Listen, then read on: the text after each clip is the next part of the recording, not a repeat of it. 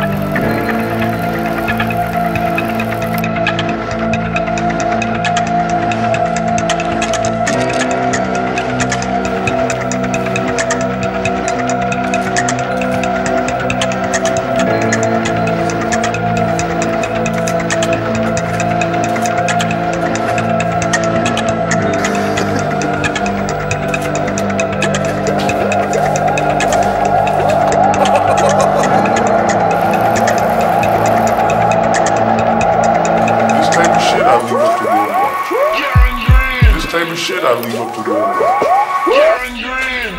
Shit.